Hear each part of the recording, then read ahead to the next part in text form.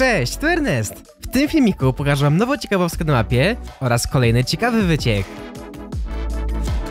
Dwie nocy temu na mapie po cichu zaszła dodatkowa, subtelna zmiana. Na północy obok gorących źródeł na mapie wylądował taki oto helikopter z wystawioną lunetą. Na razie jest bez żadnej załogi.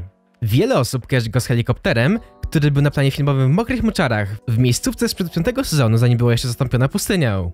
I jeśli się przyjrzycie, to tamten helikopter miał inny kamuflaż. Owszem, to był ten sam model, ale dokładnie taki sam helikopter był w wypasionej wyrwie w czasie, gdy badano rozbity meteoryt w sezonie czwartym, zanim wydostał się z niego przybysz. To nam daje znać, że należy on do organizacji spod żółtego loga. Ta sama organizacja badała meteoryt w czwartym sezonie i wybudowała laboratorium pod ziemią w szóstym sezonie. Ciekawe, co tym razem mają na oku. Poza tym, już w temacie wycieków, to Vast Blast na swoim Twitterze udostępnił nagranie z gry, pokazujące aktywowany system oglądania innych graczy. Pozwala było na dołączenie do jakiegoś meczu jako obserwator, używając kodu, lub na dołączenie do meczu jakiegoś znajomego jako obserwator. Zobaczcie sami, jakby to wyglądało.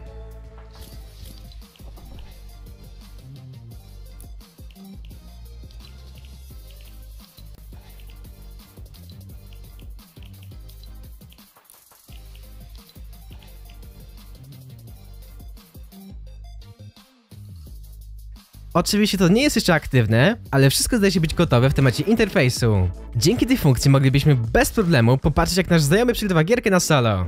Chciałbym też poruszyć temat Legendary Trader i możliwości powrotu do sklepu. W jednym z moich filmików wspomniałem o tym, że to, że dostało na dodatkowy styl dla posiadacza tego skina, może być rzeczywiście mało zapowiedzią powrotu tego skina. Ale raczej tak nie będzie. Dakotas na jednym ze swoich streamów, bardzo dużych streamów zresztą, dał znać, że jeden z deweloperów Fortnite powiedział mu, że Regenerated Trader nigdy nie wróci do sklepu. Myślę, że warto jest wziąć jego słowo pod uwagę. I Jest to jeden z bardzo dużych streamerów. Uh, Renegade Raider's not coming back to the shop. I've been told by dev that it's not coming back. That's what I was told, yeah. Poza tym to Renegade Rider była w sklepie sezonowym w sezonie pierwszym, czyli w takim, do którego trzeba było wbijać levele, aby móc kupić tego skina, co tym bardziej pomniejsza jej możliwość powrotu. I to tyle. Ja już dziękuję za oglądanie i do zobaczenia w busie bojowym.